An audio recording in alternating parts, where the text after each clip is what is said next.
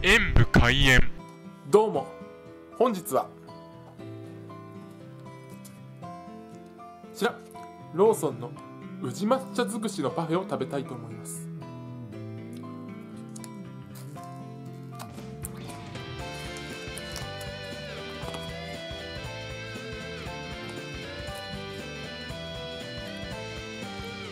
ではいただきます。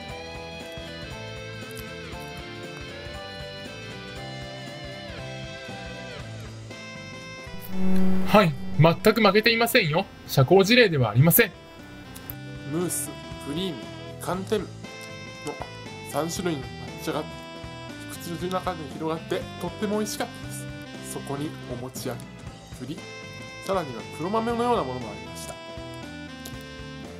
それらが抹茶一辺倒ではない美味しさを引き立てしてくれています。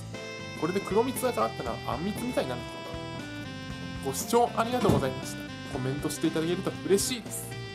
パソコンおよびスマートフォンのアプリの方はクリックをお願いします